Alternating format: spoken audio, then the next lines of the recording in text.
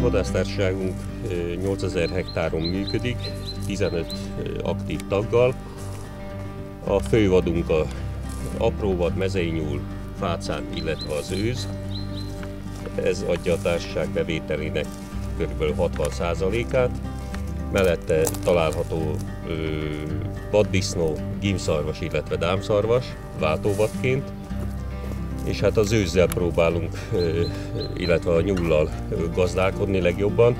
Hát most, mint ahogy látszik itt a szórón is, a szárazság miatt a lédús takarmány, sárgarépa, cukorrépa, ezt, ebben próbáljuk a nedvességet, a, a lédús takarmányt pótolni, illetve kukoricát etetünk, jó minőségű kukoricát, mert a vad igényli a, a minőségi takarmányozást próbáljuk pótolni az ivóvizet, de, de nehéz, nagyon nehéz, ugyanis nagyon lezuhant a talajvízszint.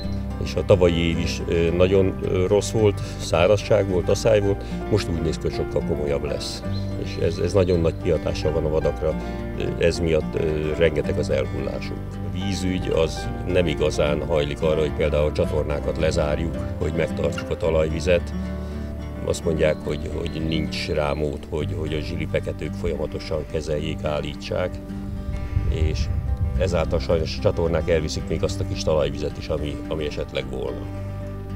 És a vadásztársaság, mint közösség hogyan működik? Mi a jellemző? Vannak-e közös programjaik? Aktív társasági élet van, télen a társasvadászatok, tavasztól őszig a társadalmi munkák, mindenki részt vesz benne, tehát mindenki a, a maga lehetőségei szerint beszáll a társasági életbe, és, és jó hangulatú munka folyik. Milyen feladatokat kell most ellátniuk a, most az időszakban? Tav- ilyenkor tavasszal főleg a, a duvagyérítés, a kártevő kapasztása folyik, úgy a szörvés, mint a szárnyas, illetve most elkezdtük ugye az intenzív őzállomány felmérést, mert április 15-én kezdődik az őszbakvadászat, és ugye bérvadászokat fogadunk, hát ez, ez teszi ki a bevételünknek a legnagyobb részét.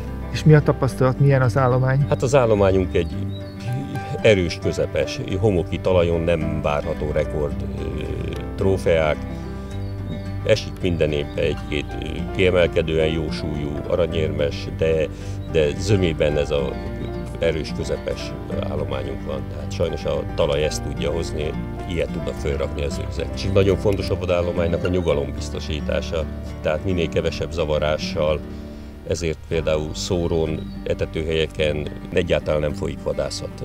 Az, az teljesen kíméleti területek az, az etetőhelyek, ott a vadnak nyugalma van, ezért próbáljuk az, az illegális vadászatot is távol tartani ezektől a helyektől, főleg az erdősült részektől, mert, mert ott talál egyedül nyugalomra a vad. A mezőgazdasági részen ugye a mezőgazdasági munkák miatt intenzív zavarás folyik, és csak egyedül az erdők azok, ahol, ahol nyugalomra lel. Ezért az etetőhelyek is itt vannak kialakítva.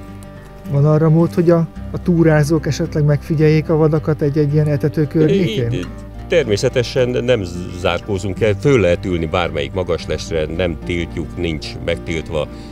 Ha, ha kultúráltan viselkednek az emberek a, a területen, az erdőben, minden további nélkül bármelyik le magas lesünkre felülhetnek, és megfigyelhetik, fotózhatják a vadakat. Tehát mi ezzel nem lépünk fel, tehát sőt támogatjuk ezt, hogy, hogy akár gyerekeket is kihozzanak, és, és lássák a vadakat természetes környezetünkben.